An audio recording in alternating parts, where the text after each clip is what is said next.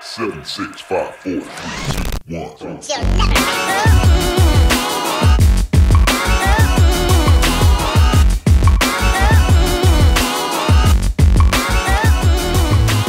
What's up guys, welcome to today's vlog. Today I'm really excited to bring you this video because we're gonna do three men's cuts in one video. And the reason we're gonna do that is because all the sides, the cut on the sides is pretty much the same. So we took that down with a clipper.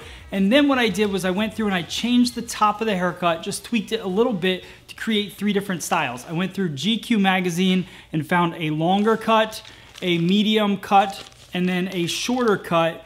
And this is all um, very salon friendly haircuts, very trendy haircuts right now. So I know you guys are gonna be able to use them. Let me know what you think in the comments below. Let's get started with the video. No wasting time, here we go. All right, guys, so three different men's cuts in one video. The way that we're gonna do this is I'm gonna cut the sides first. The sides are gonna be uh, pretty generic to fit all three haircuts. So we're gonna do a nice kind of uh, medium length taper on the sides, starting out nice and short. So what I do uh, with every men's cut is I go through and I blow dry with my comb first. So we shampoo them to get all the product out of their hair. Now I'm gonna go through and take out all the bulk using my uh, number two blade with the Andis Supra ZR clipper. I like using the metal blades as opposed to the plastic guards when I'm taking out a lot of bulk. So this allows me to work quicker. It's a motor driven clipper blade as opposed to a magnetic clipper blade. Um, what that's going to do is just give me more power, more drive power behind it. So it's easier to work through that hair. So if you're ever trying to run your clipper through the hair and it gets stuck, um, a lot of times that has to do with just the power of the blade. So the Supra ZR is cool because it has um, multi-level um, speeds to the blade. So you can actually move the blade really fast when you want to go through the haircut quickly. And then you can slow it down if you want to do a little more detail work. The faster you go through a haircut, the more steps that are going to be involved in the haircuts. You want to go through nice and slow, but also be efficient at the same time. Now I'm going to go through using my, uh, this is a YS Park 337 comb and my Mizutani six and a half inch blacksmith fit scissor. What I'm doing is blending that weight line. So as I was going through with the clipper, I was following um, the ridge of the head from the just below the recession point down to low crown. And that kind of gives me that diagonal back feel to the weight line. I really like that in men's cuts. Um, it's one of my favorite ways to kind of just follow the head shape through. Uh, you'll see it in a lot of men's cuts that I do. I also think it's very on trend to do that as well. And so I'm going through just lifting and taking out some of that weight with my scissor. I love doing scissor over comb. A lot of you have asked for a video of just scissor over comb. I'm probably not going to do that. The only reason I I won't do that is because it's not something I do in the salon. I do a lot of clipper work on the sides.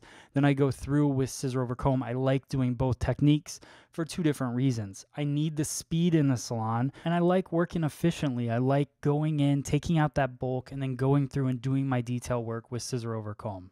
So I'm going to move in, just detail the sides with the with the trimmer. Obviously, you would customize that to your guest. So um, with the mannequin, he kind of has a square back, but if you wanted to round it or do whatever, uh, you can customize that for your guest. So we finished the sides. Now we're going to start with our first look. You can see it's a long disconnected uh, top. I love this look. I think it's very popular um, in the salon right now. So we're going to go through step by step. I'm going to show you how to blend this. So we're going to start in the back mid crown area, working vertical and over directing everything to the previous. So I'm working my way around the crown. Notice the way that I comb the hair. I'm combing the hair uh, away from my body towards the guide so that I don't lose my guide, I don't move my guide from where it lives, and I just keep that pattern going through. So you're gonna see now as I turn, I comb and I push the hair away. A lot of people just keep pulling that and gathering it together, and a lot of those haircuts that you guys see on Instagram or you see that just have those really, really clean lines to them, um, the reason for that is because they're being so particular with their sectioning and their blow drying and the styling and the finishing of the men's cut. So I just work my way through, staying very consistent and following the round of the head. So key thing as I'm going around the corner, I'm following around the head the entire time I work through the crown, but then once I get to that corner right behind the right ear, then I start over directing everything straight back to me. So what that's going to do is start pushing that length towards the front and give me all that extra length in the front. The other thing that we're doing is we're building up extra weight over the parting. So my finger angle is adjusted so that the longest point is at the most inside point of my finger. So my fingertip is more of a blend feel in the back, and then the inside of my finger at the very top is a longer portion. So then what we're going to do is we're going to create a nice solid hard line on the side of the head. The reason I like to do this just gives my haircut a nice clean look uh, in the end result. So I'll go through just take that horizontal section all the way through the top, bring it over to me as a stationary guide. That's going to give me my nice clean line. Then when I go through and style it, you'll be able to see that clean line, just gives the haircut more definition. Now I'm going to go through with my comb, lifting the hair up, blow drying it back, blow drying the hair exactly the way that I want it to live. Um, this is a good thing. If you're a guy watching this and you don't do hair, this is a great way to style your hair. Make sure you use that blow dryer. A lot of people a lot of men, um, if you're not using a more greasy product, if you don't blow dry your hair, most men's products nowadays are water soluble. So basically, what that means is if it touches water, it starts to kind of um, disappear, it doesn't work as well. So you want to use that blow dry to get the hair set where you want it and then go in and put your product in. We're going to use Reuzel for the first style. This is the pink Reuzel. It's a nice firm hold to it. Um, it gives it a nice sleek look. It's not a wet product, but it does have a nice little medium sheen to it. And then I go through and I comb the product into the hair. I think this is something that we've lost along along the way through the textured movement of men's hair and all of that. Um, but go through and just comb the product through the hair to get it nice and evenly saturated and then you get that finished look. All right, guys, so this is haircut number two. And the big difference between this haircut and the previous one is it's disconnected in the back crown area, um, but it's more connected on the sides and in the front. So the front gets a little bit longer. So what I'm gonna do is I'm gonna start by working in the crown area. We already have our sides cut, so feeling good about that. We used our two guard or two blade for that. Now I'm going to go through blow dry the crown area, working that back and forth. This is my 339 comb from YS Park. It's got nice tight teeth and I work that crown area to get all those cowlicks kind of worked out and laying in the natural fall. That's going to help me work more efficiently. Also, I don't like uh, either clipper over comb, uh, clippering, or scissor over comb work on wet hair because it, wet hair is not going to really tell me the truth. And as I go through, I don't get as blended of a line because the hair clumps together more. So as I work through the back, I'm doing a scissor over comb technique and the reason I chose scissor over comb, you could just kind of buzz through this with a clipper. I think that's what a lot of people do. And it's one of the reasons why I don't really love this haircut when I see it on people sometimes because they go all the way through the crown, they buzz all the way up, and then it becomes too disconnected. They cut the crown way too short, and, um, you know, and then those cowlicks kind of start peeking out in just different ways. And some people just cut the cowlicks completely off.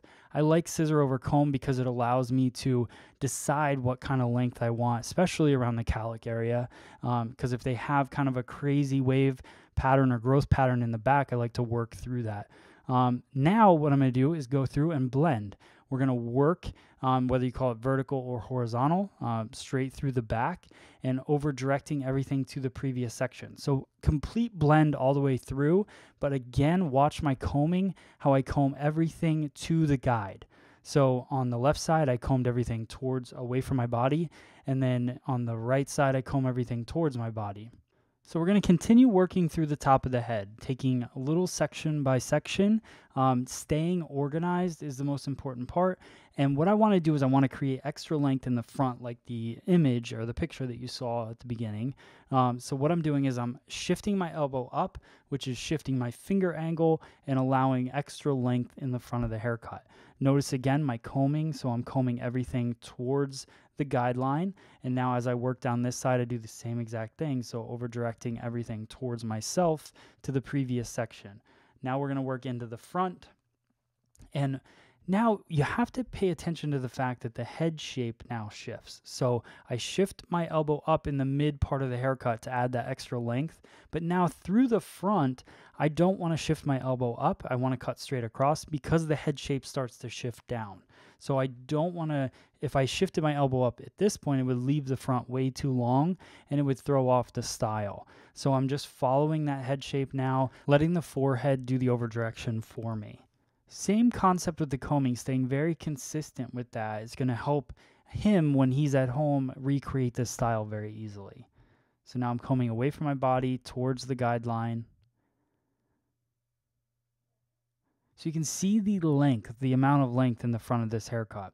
If I were to lift that elbow, you can imagine how much extra length would have been there. It would have had way, too much length to fit the style. All right, so that ends look number two. We're gonna style it up now. Um, so I'm going through blow drying with my 339 comb, um, really working any of those cowlicks out. You can see the short uh, feel to the crown of the hair and also using that comb to pop up the front of the haircut. You can see that the style is almost there already, and then all I do is just go in and add that Reuzel. This is the green Reuzel, has a little more of a thick feel, a little wetter feel, and not so firm of a hold, but you can see how it's nice and sleek in the crown and then pops right up in the front. Obviously, you could take this haircut shorter or longer uh, to fit your guest, but make sure you do that, customize it for what they're looking for. And this is the other style with the same exact haircut. So I want to give you guys kind of a bonus in GQ magazine, where which is where I got all of these looks from. Um, there was more of a sleek kind of wet feel to this style as well. So I'll show you that now. So you can see how it's just kind of slicked over. It's the same exact haircut, same exact guy, um, but they just slicked it over. So it's kind of a neat look for it as well. Now we're going to go through with our third look, which is a little more of a normal look. This is for your, you know, older clientele or somebody that's not looking for quite that much disconnection, just a nice sleek haircut. So what I'm going to do is just work that round of the head.